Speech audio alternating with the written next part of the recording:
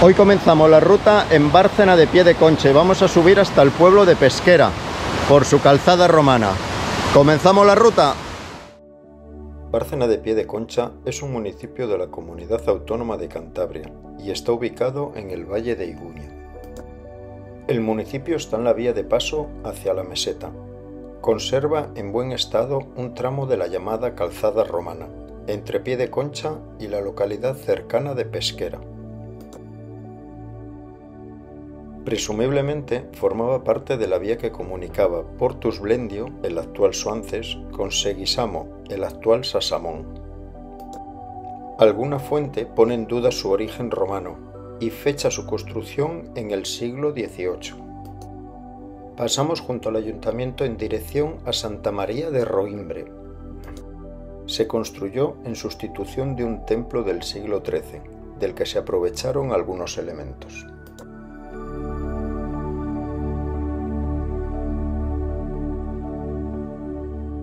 El rollo de pie de concha, que se ubica en este barrio de La Picota, tiene la catalogación de bien de interés cultural.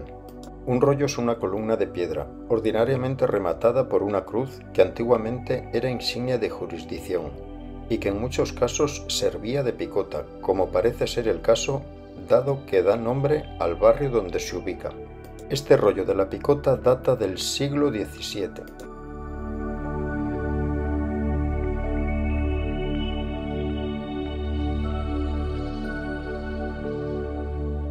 Justo aquí en este barrio y a mano izquierda es donde comenzamos la ruta de la calzada romana o calzada de los Blendio.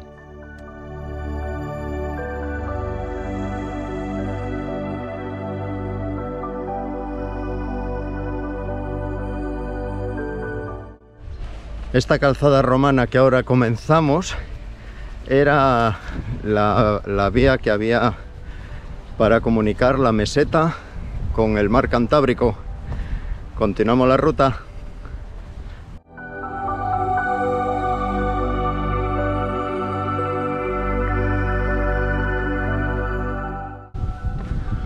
La verdad es que la vegetación que encontramos y las sombras que encontramos con el día que hace hoy de calor es maravilloso. Robles, hayas, avellanos, de todo, de todo. Está hecho una maravilla. Continuamos la ruta.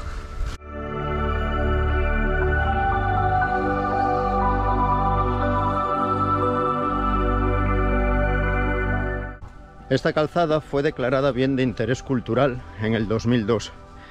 La calzada tenía acceso desde Julióbriga en la zona de Reynosa y bajaba hasta el Portum Blendium en Suances. Continuamos la ruta. Calzada de los Blendios, hasta donde llegaban muchos peregrinos de Europa que preferían evitar mediante esta vía la dureza del camino del norte, y siguiendo una antigua calzada romana se unía al camino francés en Carrión de los Condes, siguiendo las sendas de los ríos Besaya y Pisuerga.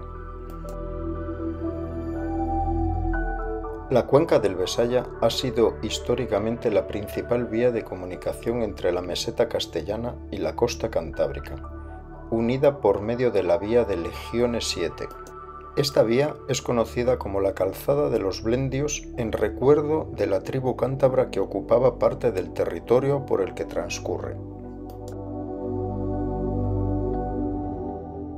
Estamos llegando al pueblo de Mediaconcha, es una pequeña aldea que constituye un enclave perteneciente al municipio de Molledo.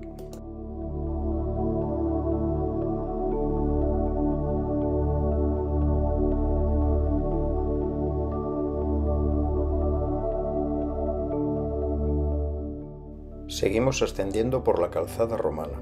Junto a las ruinas de la iglesia de Media Concha tomamos de nuevo la vieja calzada que asciende por medio de un bosque entre avellanos, castaños y cajigas.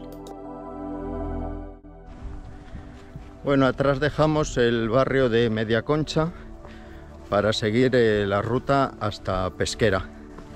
Eh, pie de concha en aquellos tiempos lo que significaba era pie de carretera. Pie es pie, al pie, y concha se, querían decir piedra O sea, estábamos a la orilla de la carretera. Bárcena de Pie de Concha, Barrio Medio de Concha. Continuamos la ruta.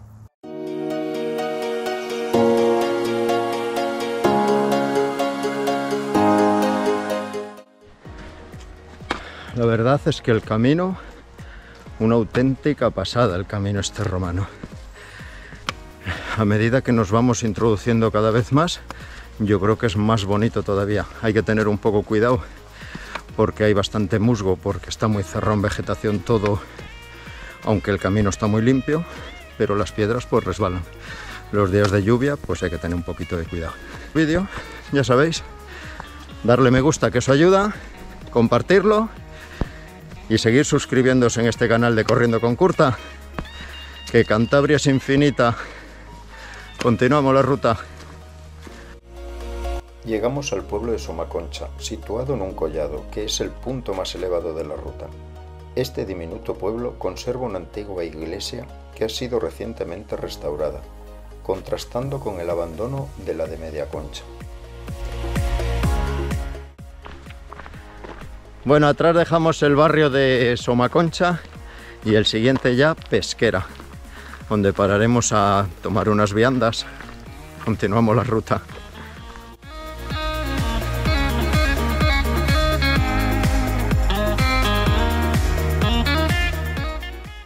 Al pueblo de Pesquera, que está ubicado dentro de la comarca de Campó Los Valles, este pequeño municipio, al igual que los de su entorno, se encuentra en una fase de regresión poblacional. Esto es el envejecimiento y emigración de la población, además del abandono de las actividades económicas tradicionales. En verano se celebra en Pesquera la Feria del Queso, la más importante de la región cántabra y que desde 1995 viene congregando cada vez a más productores artesanos y curiosos. Bueno, atrás dejamos el pueblo de Pesquera para entrar en el barrio de Ventorrillo, que pertenece a Pesquera también. Continuamos la ruta. El regreso lo vamos a hacer por el Camino Real. Se trata de un trayecto del Camino Real de Reynosa a Santander planeado para facilitar la circulación de cereales y lanas desde la meseta castellana al puerto de Santander.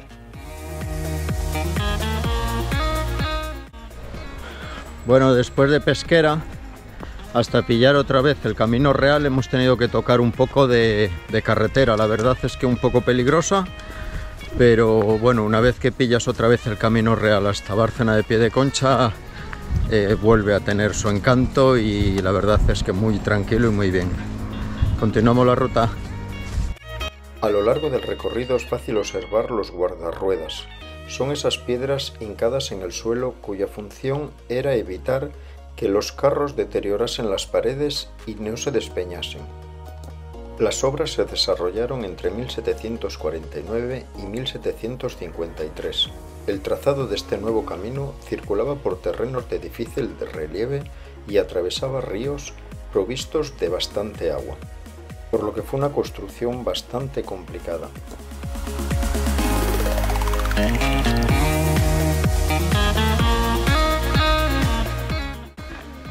Bueno, seguimos por el camino real de las hoces.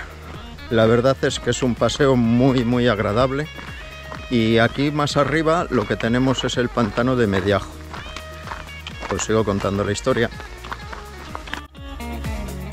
El camino primitivo tenía una anchura de entre 6 metros y medio a 10 metros, dependiendo de los tramos. Actualmente se conserva en su original disposición el tramo desde el Ventorrillo a Bárcena de Pie de Concha. Una vista panorámica nos permite contemplar la intervención del hombre. En el nivel más bajo, el sinuoso trazado de la carretera nacional construida hacia 1860. Llegamos al punto de partida en Bárcena de Pie de Concha, pasando junto a la iglesia de San Cosme y San Damián, es un templo católico que data del siglo XII. Uno de los detalles más destacados de esta iglesia es la conservación y variedad iconográfica de los canecillos, la cual se representan figuras humanas y animales, y en algunos de ellos encontramos escenas cotidianas y de corte erótico. Como la inmensa mayoría de los pueblos de la zona, Bárcena es un municipio habitado por pensionistas y un pequeño número de trabajadores que encuentra fuera del pueblo su puesto de trabajo. Aunque tiene una pequeña industria hostelera, el turismo no ha alcanzado el nivel que cabría esperar a tenor de los atractivos que ofrece el municipio. Bueno, senderistas, empezábamos esta mañana aquí en Bárcena de Pie de Concha y hemos hecho una ruta circular eh, hasta Bárcena de Pie de Concha otra vez. Eh, hemos pasado por el camino romano y hemos bajado por el camino real. Eh, parando en Pesquera, en Pesquera para comer y coger fuerzas para seguir esa ruta. La verdad es que merece la pena. Hay un tramo ahí que hay que pasar por la, por la nacional de, las Hoces y que está un poco peligroso porque no hay arcén, pero vamos, el resto es todo, la verdad es que es muy bonito el camino. Así que nada, si os ha gustado, pues darle me gusta, compartirla y nada, os espero para la siguiente ruta.